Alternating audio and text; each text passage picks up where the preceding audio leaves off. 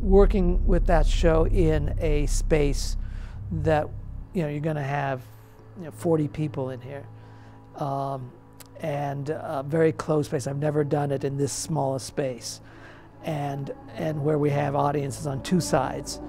Uh, so that really excited me as well. The uh, the power of this piece in an intimate setting, the intensity and intimacy that we're going to gain from this. Doubtful, I stood as two spent swimmers that do cling together and choke their art.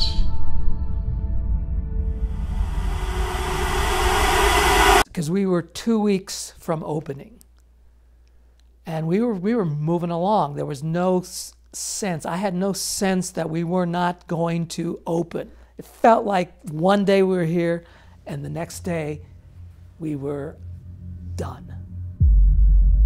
Walking up to the building, that rehearsal, and this feels weird. There was like this weird energy in the air. I was pretty much just counting down the days at that point when we got that email. Probably the hardest part and the most frustrating part is having something canceled right before you go to Tech Week. So I actually hadn't heard anything from Peter until he sent out that first email that was basically like, hey, we're planning on making this into a movie. Is anybody interested? Let me know.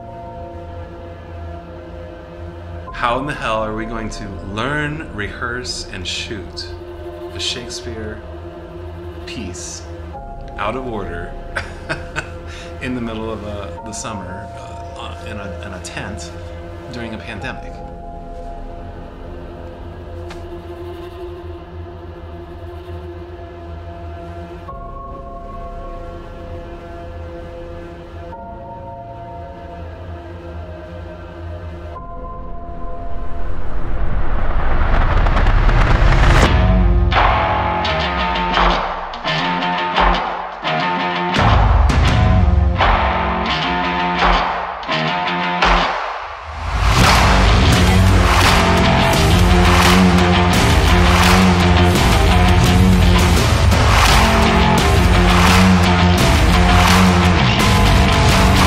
When the witches actually met with Peter for the first time, it was official, and I was just so beyond grateful. God, I was ecstatic. I was just ready to get the script and to start.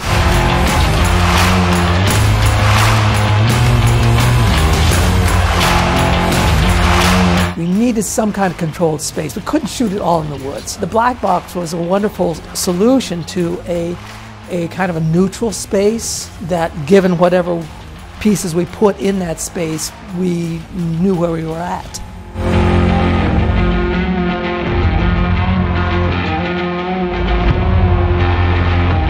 And that's another just incidental side point between film and theater. You're going to have like a something that's concrete that you're going to be able to look at again and again and again and review over and over. Whereas on the stage, it's a, you know you're there and you get to see it or you don't, and it's gone. It was a lot of work um, going between this rehearsal film process weird thing that we did. it doesn't matter what you do, you're gonna miss the other the other actors, the other people working on this, and the crew. It's bittersweet, you know, it's sad, but at the same time, it's like, okay, well, what's next? But I was also super excited because this was starting in post-production. We are actually getting the film put together and getting closer to actually seeing it and seeing all our hard work.